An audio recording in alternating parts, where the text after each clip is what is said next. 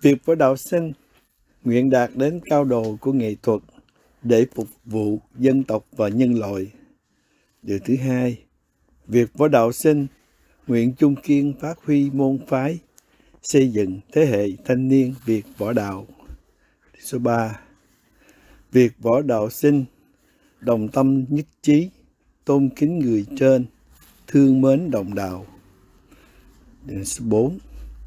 Việc võ đạo sinh tuyệt đối tôn trọng kỷ luật, nêu cao danh dự võ sĩ.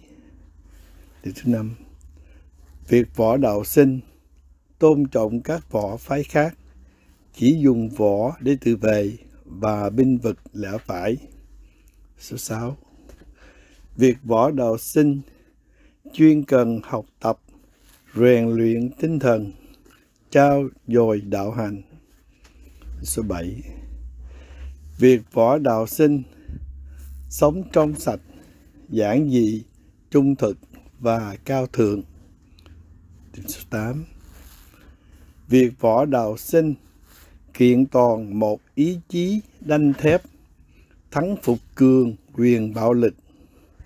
Số 9 Việc võ đạo sinh sáng suốt nhận định, bền gan tranh đấu, tháo vát hành động và điều số 10. Việc võ đạo sinh tự tin, tự thắng, khiêm cung, độ lượng, luôn luôn kiểm điểm để tiến bộ. Đó là 10 điều tâm niệm của môn phái vô vi nam, việc võ đạo.